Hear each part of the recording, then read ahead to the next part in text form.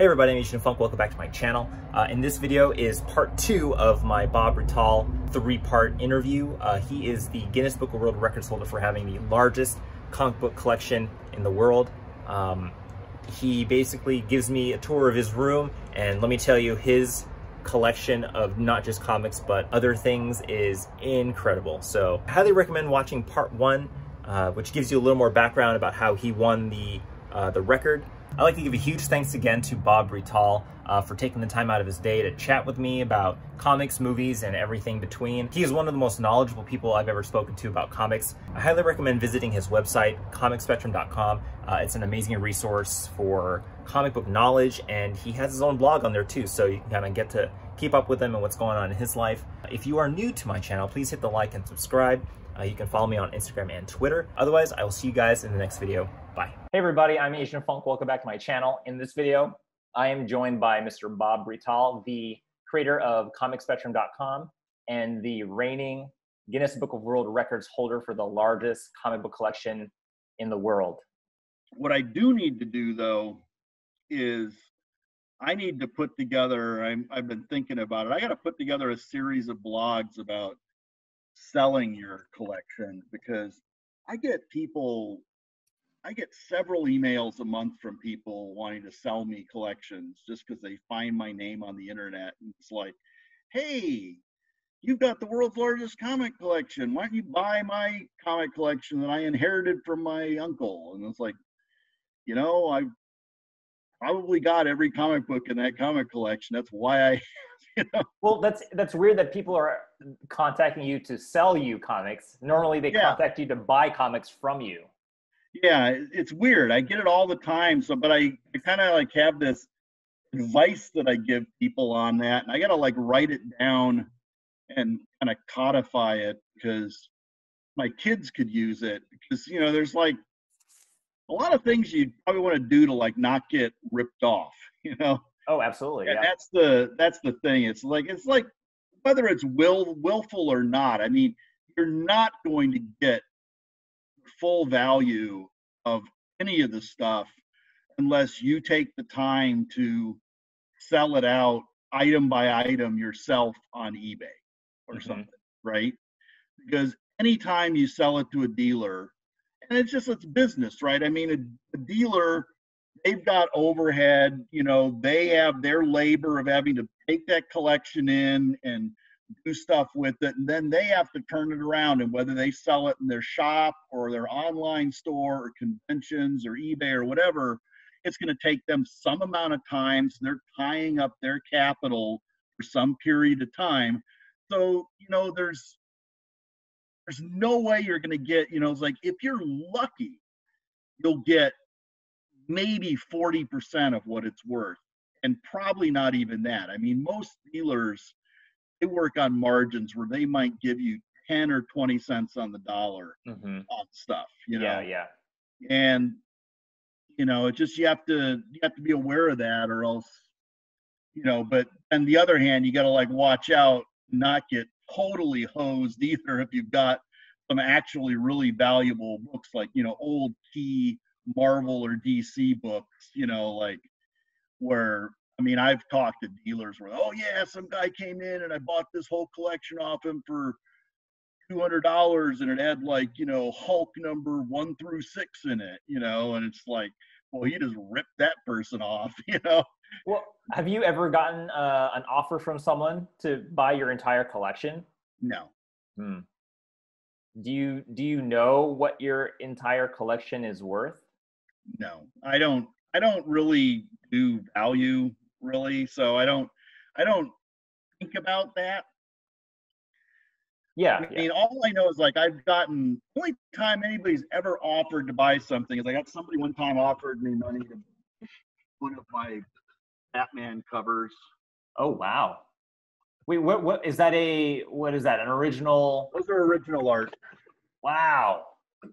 Is um are those like things you collect too? Um Yeah, I have a lot of original art.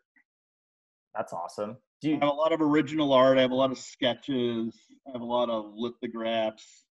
And little mini busts and statues, I see. Mini busts and statues and just ephemera of all kinds. I mean, Um, original art is kind of fun. You know, it's let's say original art was fun. the original art market in the last five to six years has gotten so crazy that I've been priced out of it and I don't buy it anymore. Mm. Um, it's just insane. You'll have like people selling just like a panel page from some indie book, you know, for two hundred dollars or something like that, and it's just like, yeah, but yeah. The two hundred dollars. I'd rather go out and use it to buy more comics for my collection. You know, it just back in the day, it wasn't that expensive. I mean, you could buy lots of original art. It wasn't crazy expensive. You could also get sketches. Um, yeah. eBay ruined that the same way that it kind of ruined comics collecting. it's like mm. one, you know, I think, you know, like when you saw these crazy escalation in prices, was kind of like a combination of Marvel movies yep. and T and the TV shows and all that stuff combined with the immediate access to a worldwide audience over fast sure yeah. available internet you know yeah. where it's just like now i have the whole world as my customer base yeah and you well, know you're, not, you're like, competing with people everywhere you're not just competing with the person next to you you're right. competing with everybody so it, it really drove the market you know up and then there's like all these people with just crazy stupid amounts of money that are yeah, that helps. Kind of investing in this stuff, and they just don't care what they pay for some of it. It's just like it just drives the price up. Not a bad thing, right? I don't. Sure. It's not a knock. It's just I'm not going to pay. You know, it's like now I bought these Batman covers in 1982, maybe, and paid 40 or 50 bucks a piece for them. Wow. I had somebody offer me seventeen thousand dollars for one of them. Wow. You know. And you were like, man, I'm good. Yeah, I mean, yeah, if I needed seventeen thousand dollars, I guess. Yeah, yeah. Like, uh, thanks. I'll keep your uh, contact information. I just like the, you know, I like. Which, which one? Which one was offered seventeen thousand for? The detective cover. Detective four forty eight. Wow.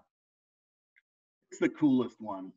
I think I, that other person thinks so too. I like the others. I mean, it's just like, but I just, and that's the thing. It's like there were more at shop when I bought these. You know, I I just bought these because it's like I like Jim Aparo and mm-hmm. I wanted one Batman, one detective, and one Brave and the Bold. So I picked the ones that were there, my favorite of, from each of those titles.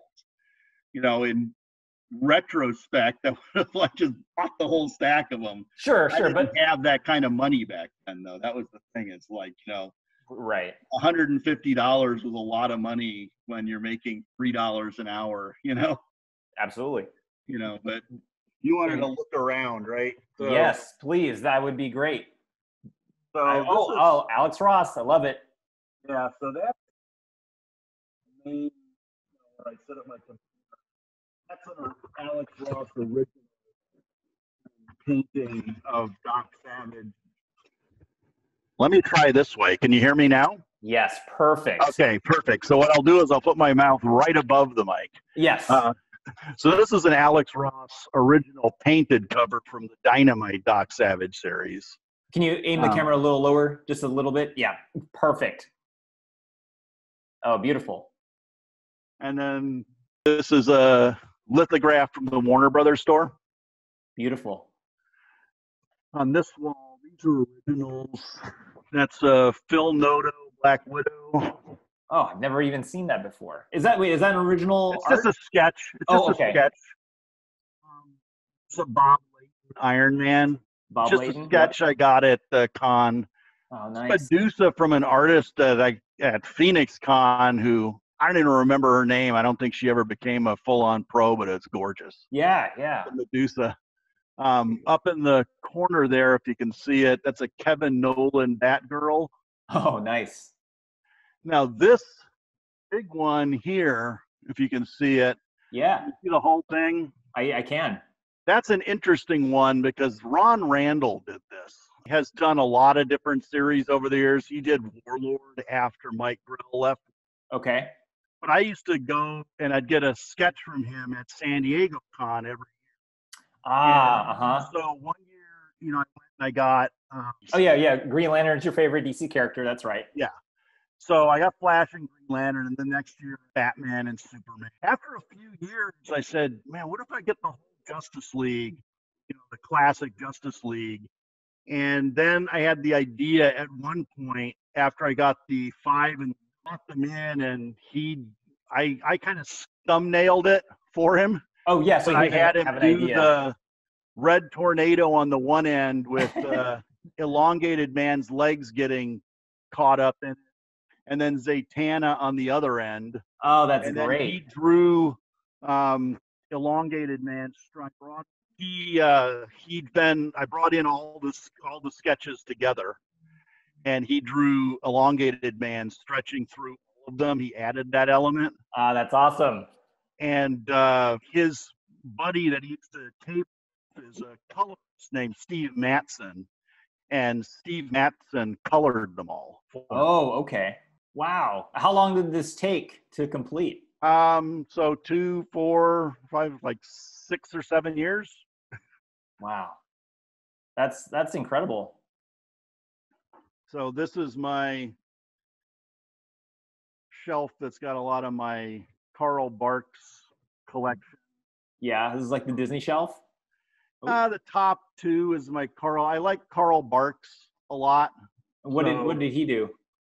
He did Uncle Donald Duck. He is the kind of acknowledged by people who like this sort of thing as like the definitive best uh, duck artist. Oh, interesting. He created Uncle Scrooge. Got it. Okay. Um, so that's the first Uncle Scrooge uh, comic there. Oh, wow. Um, those are the first couple Uncle Scrooges, and then um, what else? I just got little Dark Horse statues there and Very cool. things. You can see the spinner rack here. Love it. These are some. Oh, I see some Alex Rosses up there. This uh, I'm actually not covering it. I'm just not got my face right at. Oh, okay. I don't have shut up. so it's it's cool. This is we'll roll with it. I'm gonna. Yeah, I just bought the. Uh, There were Sorry, go ahead. there were one in 25 Alex Ross covers of that. That on there were like five of them. I only have two of them. I only have one of them. So I'm what else? What I else you got- got there, Bob? I got some of the U.S. uh, Very cool. now. These are some Joe Oh, love those. The corner box variants. experience. Yeah. These are mostly all autographed by Joe. What? I saw him at the con a few years ago. I had dinner with him. Um, Well, like you ate you ate food with him? yeah, What? Are you guys buddies? not buddy buddies, but IDW was doing a uh, got a sketch.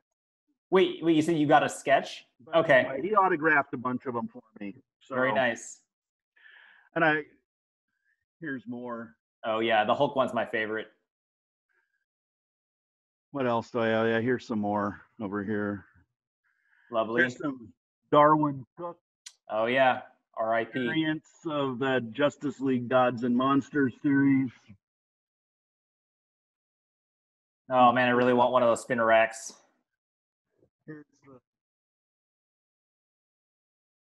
Oh, here we go. You even have a little light. uh,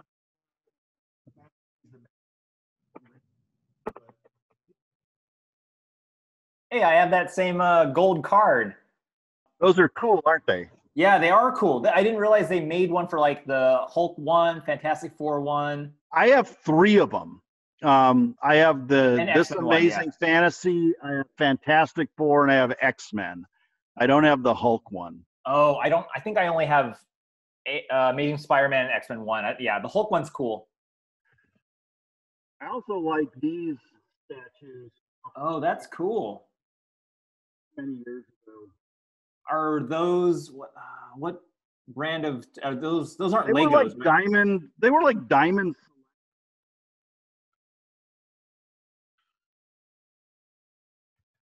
Your room is amazing, Bob. This is my stuff. Beautiful. I'm really uh, envious of your um, mini bus collection. Pastel Grendel drawing by Matt Wagner. Um, some DC type of stuff. Lovely. Got my power battery there. Love it. Is that the biggest Green Lantern uh, thing you own? The battery, probably, yeah. Um, Wow. okay, over here I've got a lot of busts. Oh Obviously, gosh. I got almost all the Eaglemoss Marvel figures. Which ones are you missing? I don't know. There were so oh They man. started doing chefs. Yeah, yeah. Guess how many mini bus I own, Bob? One. I have almost 300 Bowen mini busts. 300. 300. Wow. That's is that the largest mini bus collection in the world? I'll probably. is who's this? Is this a Joe Jusko sketch? That is Wait. Can you say it one more time, Bob?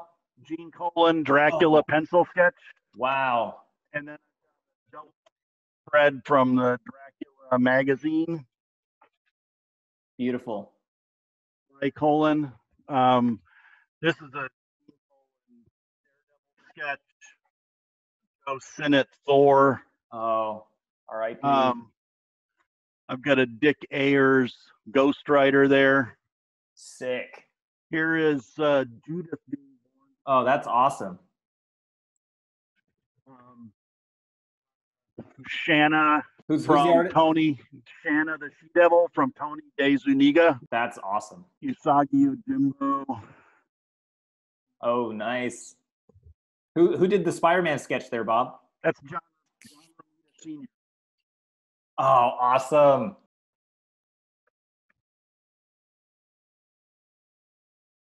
You're you're living the dream, Bob. This is this is the dream comic book room. Some random stuff. Sure. Um, oh, this is a painting by Glenn Fabry. A lot of preacher covers. I've never seen that before. Sinister Six. Yep. Beautiful. I, I would have guessed that was published uh, anywhere. It's just a painting. I would have guessed that that was um uh, Simone Bianchini. It's not. Um, but it's original. It's, ori- it's not a print. It's an original painting. Oh my god. I love the red and blue frame by the way. I had the frame done. Yeah, it's it's beautiful. I had done. Oh man. Your uh, collection is amazing, Bob. Oh, Stan Lee. Oh, you got the uh, Jack Kirby Stan Lee bus. Those are. I've been trying to find those. I put I put Stan with you know. So these are all the original Ah, versions of the creations, right? I yeah, I like it. And then I put Stan, Iron Man, and Doctor Strange, and of course I had to use the yellow Daredevil costume.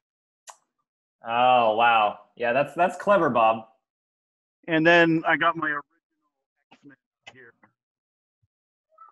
That's sweet.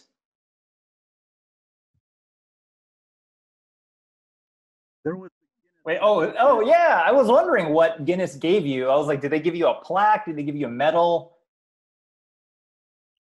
I like the certificate.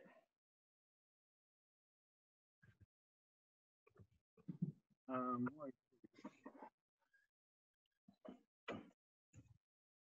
Yeah, very cool.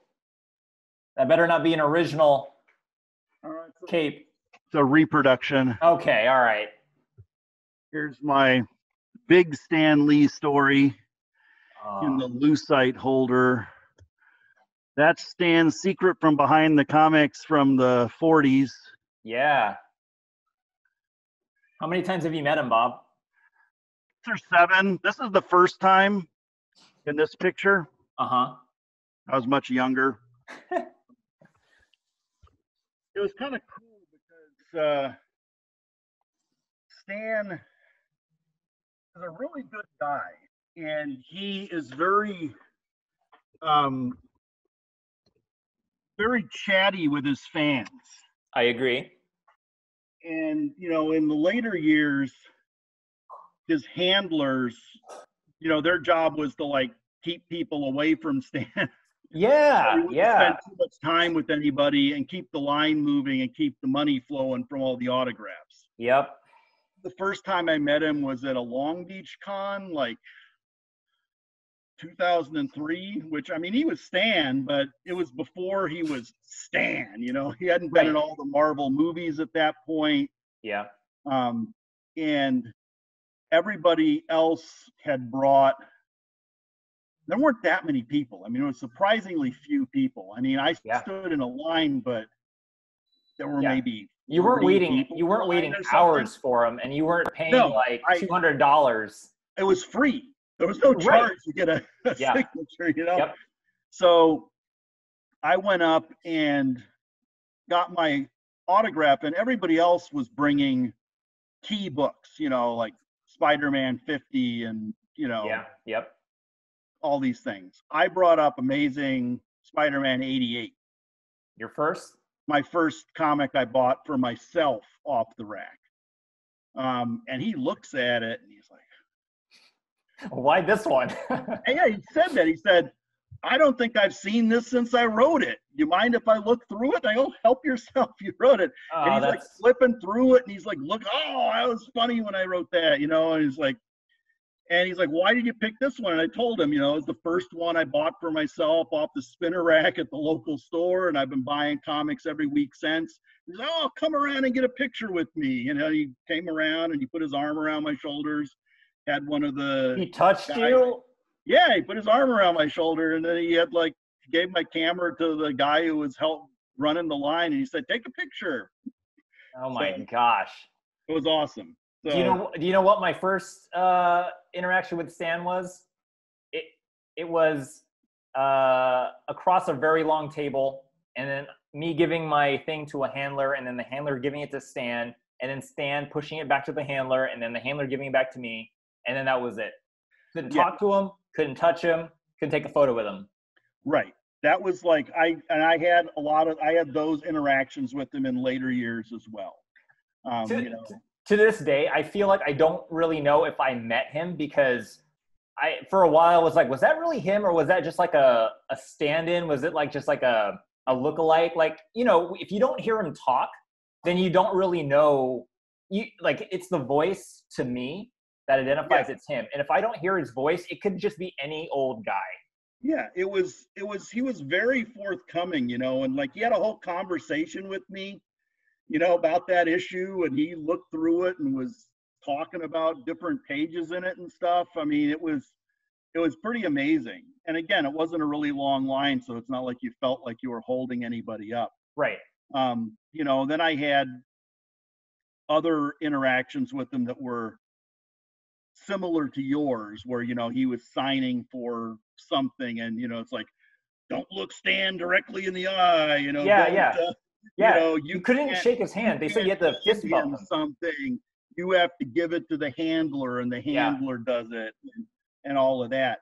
The last time I met him uh, was at the Taschen uh, thing because Taschen put out Oh, the book, all the book publisher. Yeah, yeah. these, yeah, they, they do all these really cool books. I mean, it's like this book here is amazing. This is the one that's a Stan Lee story. If you see it, there Yeah, the one in the case, right? in the case. Yeah, there we Yeah, go. the oversized. Yeah, beautiful. Yeah. So that was like, I think it came out. It came out actually after he passed away. Um, It came out after he passed. they had just finished it before he passed away. Mm. signature plates in it. And he was actually, they brought him the thing and he was talking to Benedict Taschen, who runs that publishing house. Um, and that was, but then he passed away in December. Yeah. And, uh, you know, so, but that book, like, was originally supposed to be like $1,300 or something like that. Only, huh? And when it came out, it was actually started immediately going for much more because, you know, we had passed away and it was like probably the last things he signed was this book. Um, and I mean, I got mine free, but because I contributed a lot of the items that are in there. Oh, wow. Um, you That's know, cool. they for that super deluxe version, they have bound they have they did a reproduction of the secrets behind comics, right? hmm The book, and they used my copy to make that reproduction. Wow. Um, they had bound in in the deluxe version all throughout the book. They have bound in like Amazing Spider-Man 50, a whole copy of it bound into the book Mhm. and it's my Spider-Man 50 they used to make that reproduction copy. oh, really? Sorry. It's fine. So I I actually was several times I would work with the guys from Taschen and the guy would just send me a um, spreadsheet with like four or five hundred comics in it and say, Can I borrow these? And I'm like, sure. And I'd pick them out from my collection and they'd send an intern down or he'd come down. Um, to like scan them or something, or yeah, and they'd take them and they'd photograph them and scan them and do whatever. that's awesome. So, you're like, I, I'm starting to realize you're kind of becoming like an archivist. You know, So like I'm credited in those books. So it's actually fun. I mean, you know, I just I don't get anything for doing this, but I mean, I will recommend these books. I mean, they're awesome. Like they came out with this one much cheaper. Um, this is the Stan Lee book too, but this is the kind of popularly. Can you can you aim it down a little lower, Bob? Yeah. Thank you. Oh, that's awesome. I don't think I've seen this book. Can you show the cover one more time? Yeah. Oh, I see. This is oh, that's the same book. It's the same one that's Oh, that's ah, I love the foil treatment.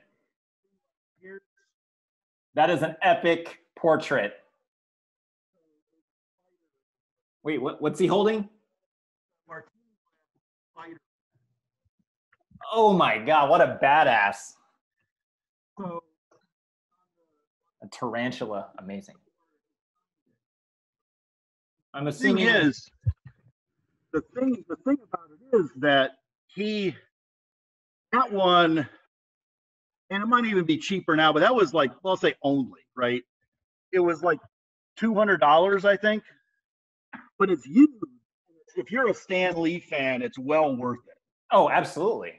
It's amazing, and uh, Caution has done. I got to get up again. I show you these other things. Sure, yeah, yeah. Please. You're making me want to go buy these books, Bob. Stop selling them to me. Well, they did these. They're really cheap. That's pretty cute.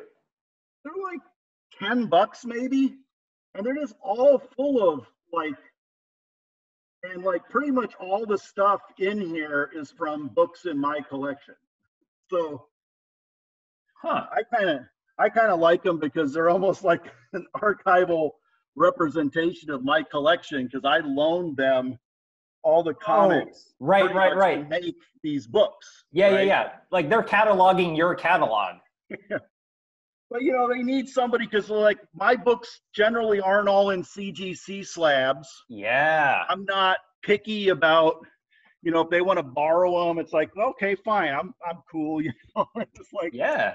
so I loan them all kinds of stuff to make these comic book projects with, which is kind of handy because then they give me comp copies of. I mean, they don't pay me, but I don't care. I mean, they give me comp copies. Hell, just getting that Stan Lee book, getting an artist proof copy of that Stan Lee book, you know, Yeah. it's worth a couple Absolutely. of grand. You know, it's just like that was worth everything I ever did with them. But what I was going to say is when they did the the 50 years of Marvel com- or the yeah the big Marvel comic history one from the Silver Age to current. Mm-hmm. Um, they did a big signing for that. Roy Thomas wrote it, you know, and it's Stan and Roy. Yeah. So they did a big thing at the Beverly Hills Taschen store. So I went to that event and it was the same thing. Stan's handlers were there and oh, you know, they're like, don't look Stan directly in the eye and don't do this and do that. You know, but Stan and Roy were signing Yeah, yeah. books, right? And we stood, I went with some friends, and when when I got up there, the guy who worked for Taschen who put the book together, his name's Josh. He's actually won Eisner Awards for his design on some of these books. Oh, wow. Um, and you know, so he was there, and when I got up, he's like, "Stan, this is Bob. He's the guy who donate, who loaned us all the comics to, you know, not all of them because they had some golden age. sure, stuff. sure. But he uh, he loaned us a lot of the books to help make this book. And he also has the Guinness World Record and all this. And Stan's like, oh, cool. And he stands up and he shakes my hand, and Roy shakes my hand, and they actually talk to me a little bit. And uh, the handler gave us the dirtiest look. He Really? didn't care because we broke protocol and you know stuff. But Yeah, Josh, yeah, yeah. But Josh did it for me because he knew that you know because he had actually worked with Stan on putting the book together. You know, he had gone to Stan's office and Mhm, sat and had you know hours of interaction time with Stan, and he knew how big of a Stan fan I was. So he Stan he fan. did that. He did that interact. He did that introduction. Yeah, yeah.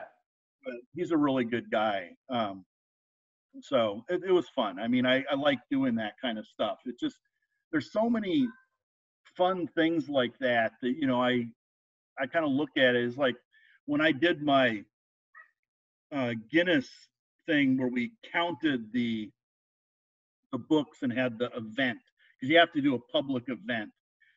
Mm. I did it a few weeks after the Long Beach Con, and I handed out flyers at the Long Beach Con, inviting people to come and see it. But I like had culled through my collection for like double comics, you know, because I could only count one copy of each, and I had bought lots. I had lots Right, of right. doubles.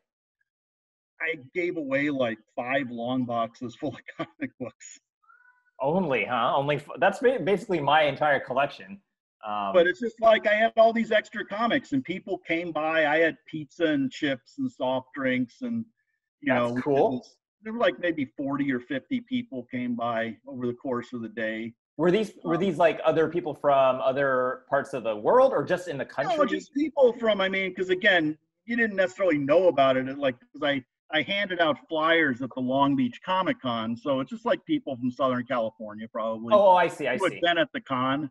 Yeah, but yeah, you yeah. had to have a you had to have an event, right, for Guinness. to- Really? Huh. Yeah. You had to have a public event.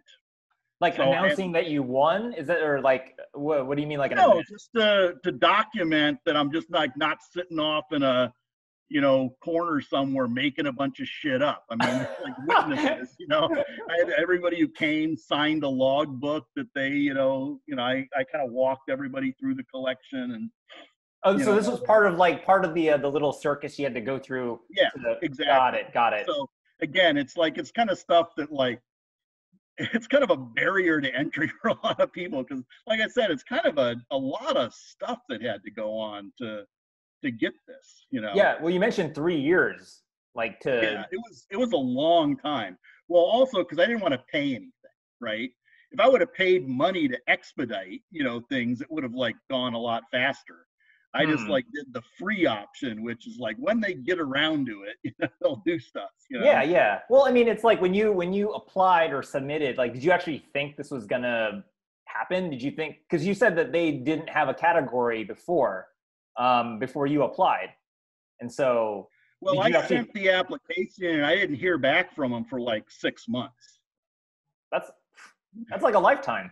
So, you know, I just forgot about it. And then they got back to me and they sent me like here's all the rules and everything, and here's all the stuff you have to do. And then I had to look at all that stuff, and I'm like, You're like, uh, is this how worth the it? hell am I going to do all this stuff? You know, I had to like have a video of doing this. So it's like one of my son's friends videoed it for me and put together a video and that we sent in with the package. And I had to have the uh, like independent experts validating it. So I had the guy from my local comic shop who owned the shop for 25 years and was an expert. And I had this other guy who had a um, podcast and website down in San Diego who is also an accountant. He's the guy who did the verified count. you Yeah, know, so yeah. it's like I had to pull together all these kind of resources myself. Yeah, So- yeah. Right. Like, you know, I get like, approved, right? Sure, you know, sure. It's just like if I wasn't going to pay Guinness to do it, I had to provide oh, I see. people that they were that they approved of. Got it, okay. Those same roles. Yeah, yeah, yeah. Independent third-party verifiers and stuff. And Gotcha, then I had okay. a video of you know all this verification happening so that they know that it wasn't all being fake, right? Right, right. Yeah, that makes sense. I mean, I get it. Like from their point of view, they're they're trying to cover their their butts, right? They want to make sure Yeah, they they they they have a lot of prestige for being a legitimate, you know, world record organization. It's not just some dude says, "Well, I have 200,000 comics," you know. And it's Yeah, like, yeah, right. okay, anybody can say anything, especially on the internet, right? Yeah, yeah. So, like, proving it that takes a certain amount of effort, Yeah, that makes sense. a Um, lot of effort. Yeah, know? well, I'm I'm really glad you stuck with it, you know. Um and I want to like did you feel like you became like a celebrity after like once it was published in the book, did you feel like any different? I'm amazed at how little people who run comic conventions could not give a shit. like yeah, because you would I, I thought that people who run comic conventions would be actually kind of impressed. Nobody who runs a comic convention gives the slightest damn. I, I'm, I'm gonna be honest. I'm gonna be honest, Bob. I agree with you. You're right because I didn't. You you won this in 2015, and I only I only learned about you like last week.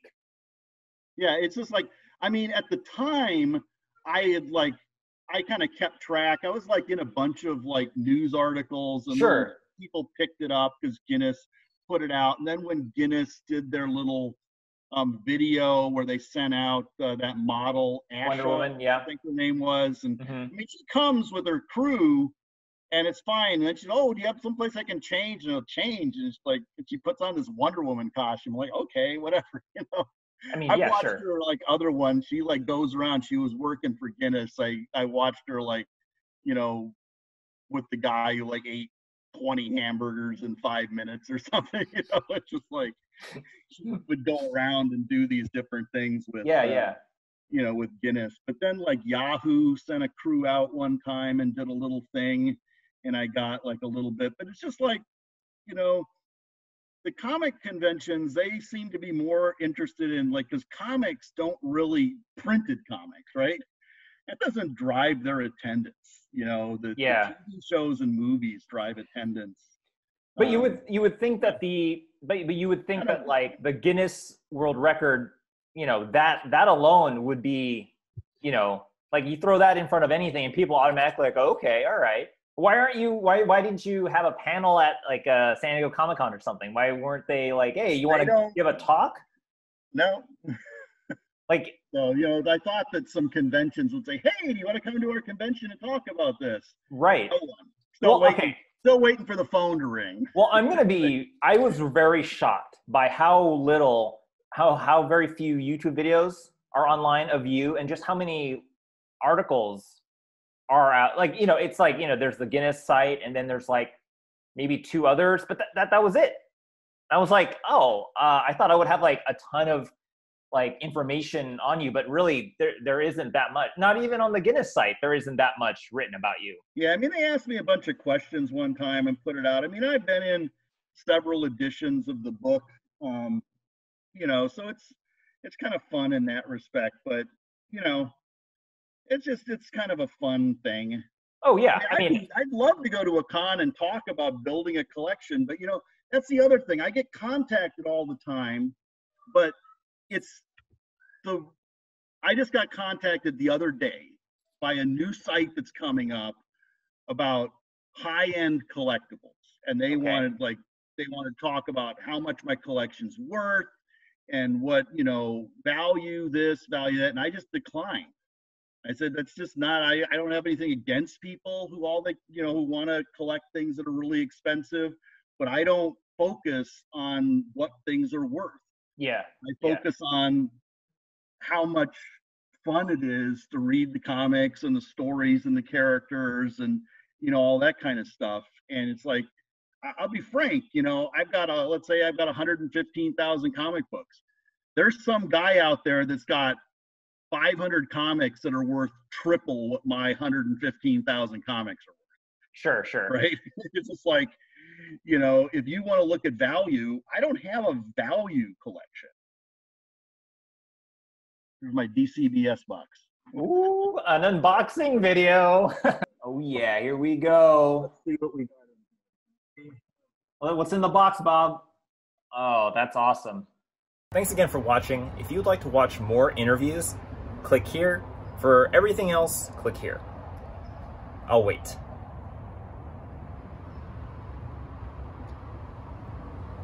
Just just click one of these buttons and end my suffering.